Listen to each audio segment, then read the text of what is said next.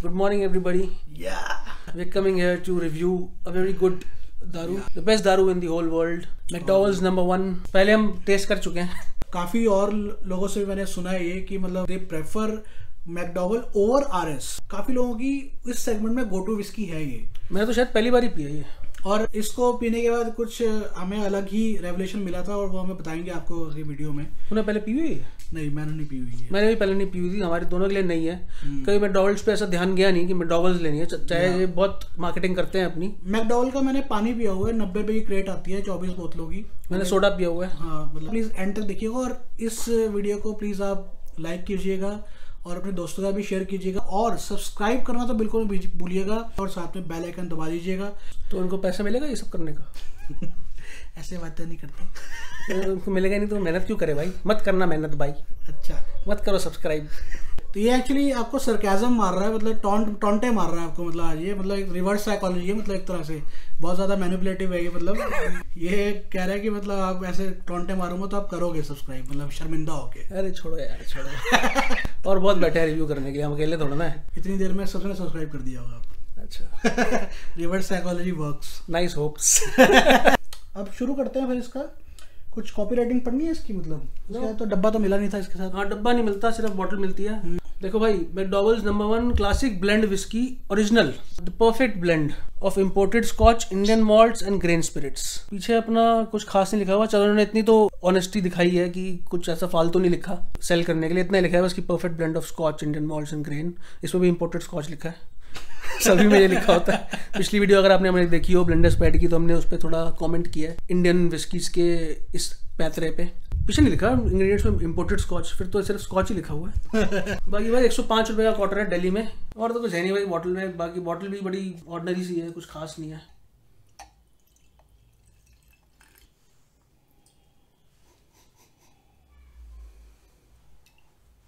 जो उसकी फ्रेग्रेंस है नाक पे बहुत ज़्यादा चढ़ रही है। सही कह रहा है ये थोड़ी हैवी लग रही है थोड़ी सी हैवी है।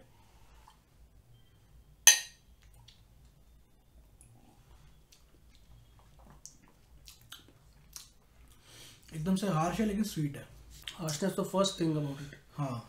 हार्शनेस तो मेरी आँखों में थोड़े आँसू आ गए इंटरनल आँसू जो बाहर नहीं आए लेकिन अंदर ही अंदर। साइकोलॉजिकल आँसू। नहीं मतलब आँख के अंदर ही आँसू। टपके नहीं है अभी। जैसे जा रही है पैलेट पे तो पूरा एकदम उसको कवर कर रही है अच्छे से और लग रहा है कि मतलब एक एक, एक स्ट्रॉन्ग विस्की गई है। हाँ एग्जैक्टली exactly. मेरे लिए किसी विस्की की स्ट्रेंथ का एक ये भी पैरामीटर होता है कि अगर वो मेरे नाक को थोड़ा सा इरिटेट कर रही है ना तो इसका मतलब उसकी स्ट्रेंथ थोड़ी ज़्यादा है। अगर मुँह तक जाए लेकिन उसके बाद नाक Exactly. पिंच करे तो उसका थोड़ी स्ट्रेंथ ज़्यादा है उसकी। एग्जैक्टली वो नाक तक नहीं पहुंचनी चाहिए। नाक तक नहीं पहुँच थोड़ा सा नाक तक पहुँच रही है थोड़ा इथाइल अल्कोहल का थोड़ा ज़्यादा इसमें स्ट्रेंथ है। लेकिन नंदलेस डाउन द थ्रोट बहुत स्मूथली जा रही है। मेरे को ये भी जानना है लोगों से कि क्या मोटिवेशन होती है किसी की कोई विस्की पीते हुए? जैसे फॉर एग्जांपल हम टेस्ट क्राइटेरिया होता है हमारा कि स्वीट है कि किसी को स्वीट पसंद है किसी को स्मोकी पसंद है किसी को स्पाइसी पसंद है।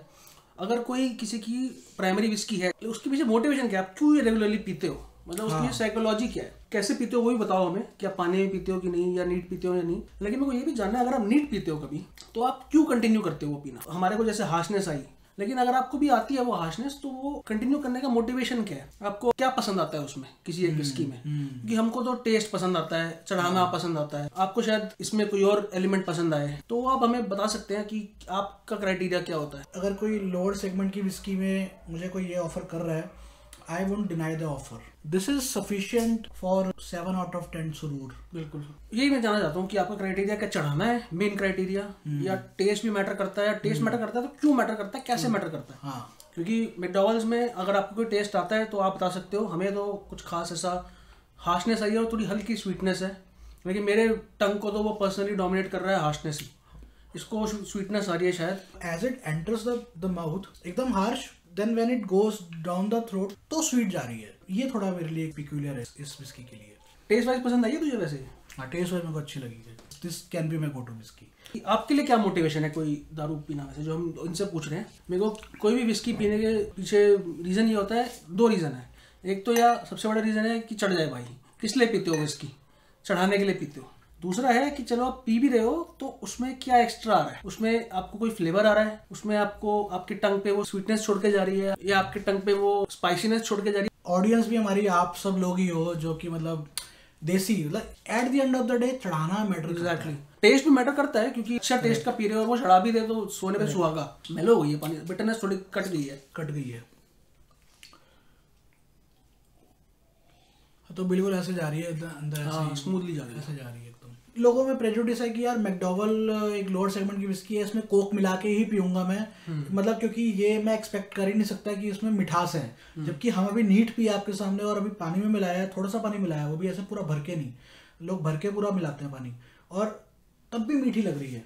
तो क्या लोगों में ये प्रेजुडिस खत्म होनी चाहिए कि मतलब कि कोक ना मिलाई जाए? उसका विस्की का अपना टेस्ट है वो लोअर सेगमेंट है जो कितना भी हार्ड सेगमेंट है। कोक तो बिल्कुल ही एकदम विस्की का एसेंस ही खत्म कर देता है एकदम। कोक में ये होता है कि कोई भी विस्की ना बेरेबल हो जाती है। अगर फॉर एग्ज़ाम्पल वो विस्की बिटर है उसको कोक में मिला दो कि कोक की स्वीटनेस उसको कट कर देती है और वो न्यूट्रल हो जाती है वो थोड़ी स्वीट उसमें चली जाती है क्योंकि कोक में ऑब्वियसली शुगर है। कोक का इनहेरेंट फ्लेवर एक वेनिलाइश और शुगरिश और उसके साथ थोड़ा स्ट्रॉन्ग विस्की तो वो ड्रिंक कैसी हो जाती है वो स्ट्रॉन्ग एंड स्वीट हो जाती है तो लोगों को वो पसंद पसंद आता है। तो तेरी एडवाइस क्या रहेगी कि मतलब इसको कोक के साथ पीना चाहिए या नहीं पीना चाहिए? मतलब जितने लोग अभी इसको पीते आ रहे हैं मैकडोवल्स को कोक में क्या पीना चाहिए? मतलब उनको कंटिन्यू करना चाहिए मतलब कोक में पीते हुए? कर सकते हो ऐसी बात नहीं है आपकी अपनी प्रेफरेंस है लेकिन फिर भी अगर आप इसको नीट भी पियोगे कभी ट्राई भी करोगे अगर आपने नहीं किया ट्राई कर सकते हो बहुत बुरी नहीं है। हल्की हार्श है थोड़ी स्ट्रांग है लेकिन इसकी अगर अपना उसका इनहेरेंट टेस्ट आप एक्सपीरियंस करते हो तो ज़्यादा अच्छा है। कुछ किसी को फोर्स तो कर नहीं सकते सबकी अपनी चॉइस है। फोर्स नहीं कर रहे लेकिन you should be open to exploring. तो गाइज़ फिर आ, मिलते हैं अगले ब्लॉग में आपके साथ और तब तक के लिए इन्जॉय दिस विस्की अपने फ्रेंड्स के साथ. नंबर वन यारी. बाय